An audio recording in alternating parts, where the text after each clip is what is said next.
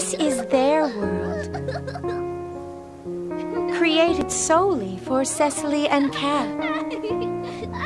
I am using KOS-MOS Encephalon construction abilities to show it to all of you.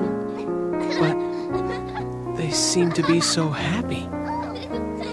Would you say that if you were to see this? Ah!